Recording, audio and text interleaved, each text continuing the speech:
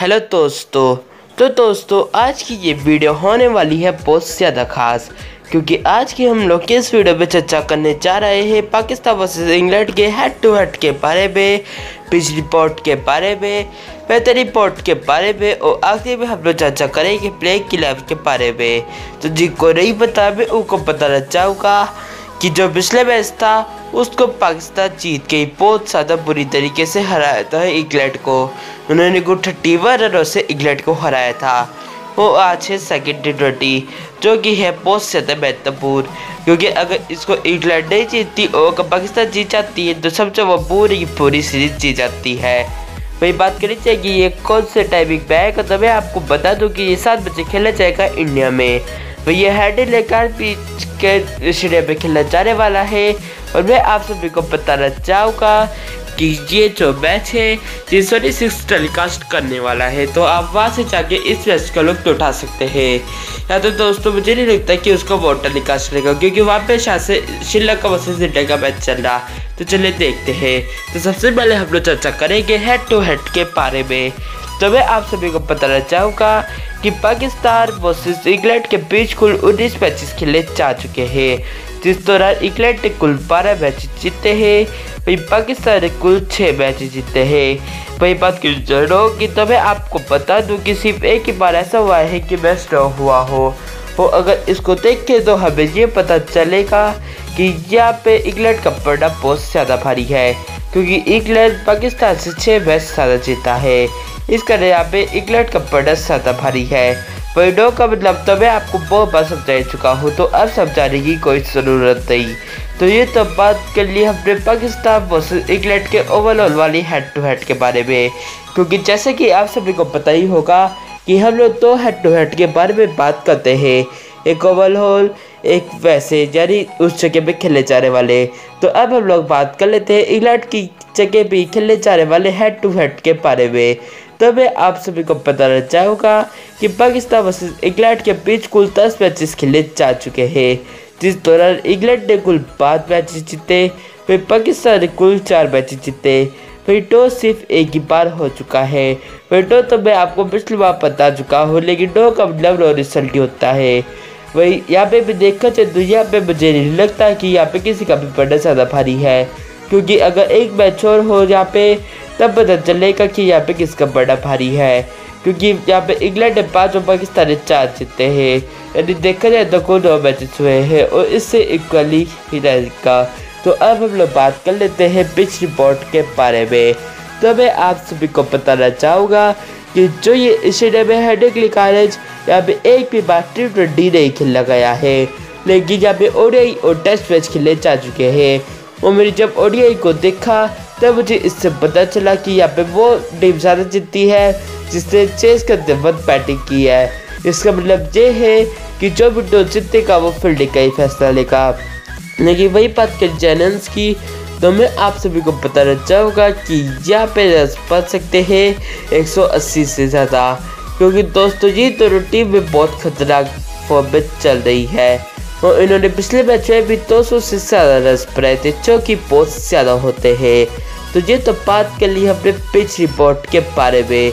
तो अब हम लोग बात कर लेते हैं तीसरे टॉपिक के बारे में, जो कि होने वाला है बेहतर रिपोर्ट के बारे में। तो मैं आप सभी को बताना चाहूँगा कि जैसे कि आप सब लोग स्क्रीन पे देख पा रहे होंगे, और यहाँ पे मैचेस शुरू होने वाले हैं साढ़े दो से। तो यहाँ पे मौसम एक तो साफ़ है, बारिश के किसी भी टाइप के चांसेस हमें यहाँ पे देखने को नहीं मिल रहे हैं। इसका मतलब दोस्तों मौसम एक तो साफ़ रहेगा यकीन के फैंस के लिए बहुत ज़्यादा अच्छी बात होगी। उन फैंस के लिए जो कि टी ट्वेंटी को ज़्यादा पसंद करते हैं। वैसे तो इस मैच को कोई नहीं देखने वाला।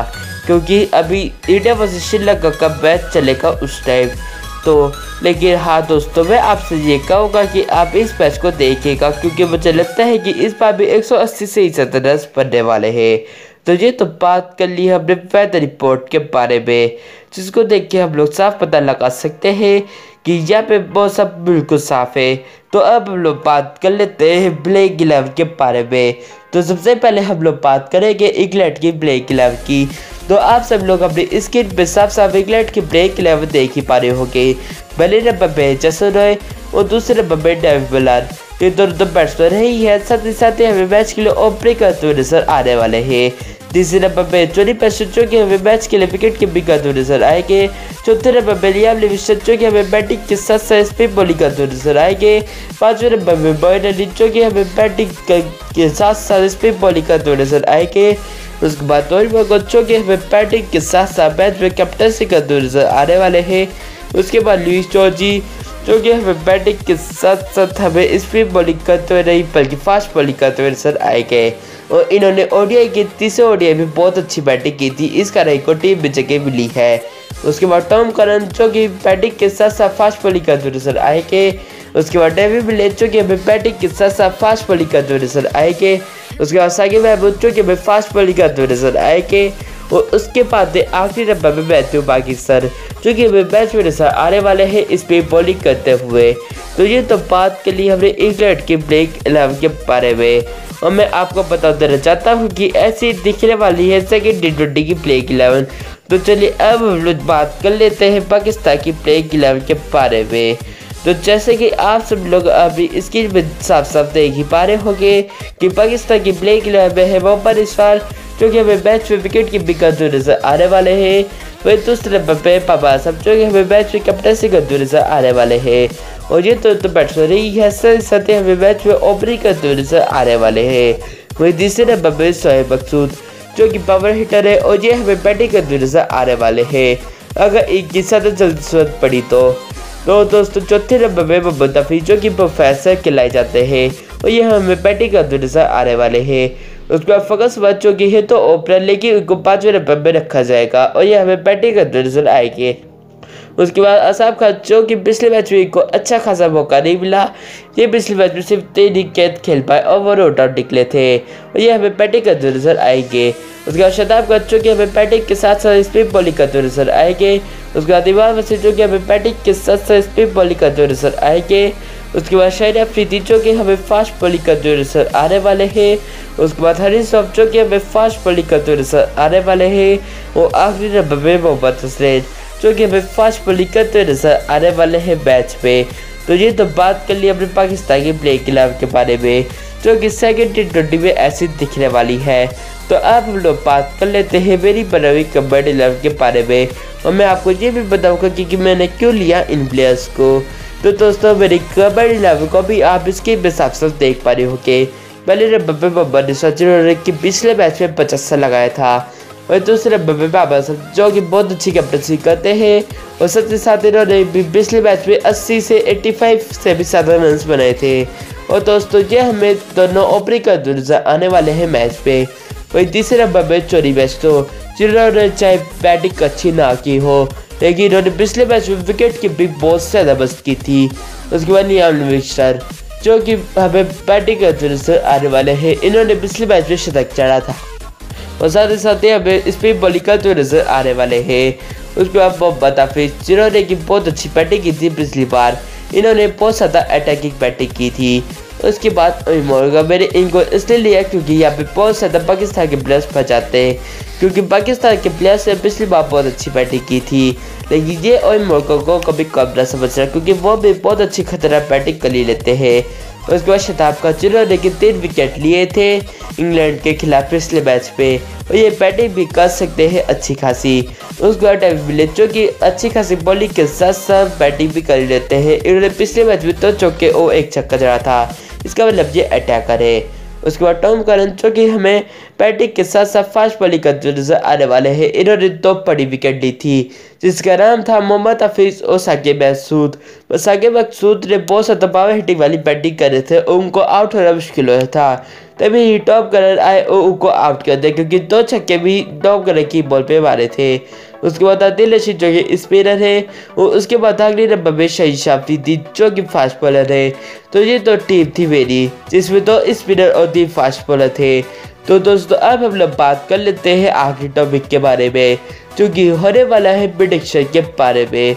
तो दोस्तों, मैं आप सभी को बताना चाहूँगा कि मुझे ऐसा लगता है कि यहाँ पे इंग्लैंड के जीतने के बहुत ज़्यादा चांसेस है, क्योंकि आप सब लोग बड़ी अच्छे से जानते ही होंगे कि इंग्लैंड कभी भी बीच जीत सकती है। ऐसी काबिलियत किसी के पास नहीं है जैसे इंग्लैंड के पास है। और वैसे भी दोस्तों, इंग्लैंड बहुत बहुत ज़्यादा बड़े बड़े रनों को चेस कर चुकी है। ये दोस्तों, इंग्लैंड चेस नहीं कर पाए लेकिन आपने ये भी कॉल करा होगा कि दो सौ तीस रन होने के बाद भी उन्होंने दो सौ तक रन पर आए। मतलब तो बहुत से टीमें ऐसी होती जो कि सौ में ही ऑल आउट हो जाती है। लेकिन इंग्लैंड के साथ ऐसा नहीं हुआ। और अगर इसको देखा जाए तो हमें ये पता चलेगा कि इंग्लैंड के जीतने के सदा चांसेस है सेकेंड टी ट्वेंटी मैच में आपको क्या लगता है, कौन जीतेगा? ये मैच हमें कमेंट करके ज़रूर बताइएगा। तो दोस्तों, आज की वीडियो में बस इतना ही। हाँ दोस्तों, मैं आपको एक बात और बता देना चाहता हूँ। वो ये है कि मैंने इंग्लैंड का नाम इसलिए भी लिया क्योंकि हेड टू हेड ही ऐसा था। तो आज की वीडियो में बस इतना ही। अब हम लोग मिलने वाले हैं डायरेक्ट अगली वीडियो में। तब तक के लिए गुड बाय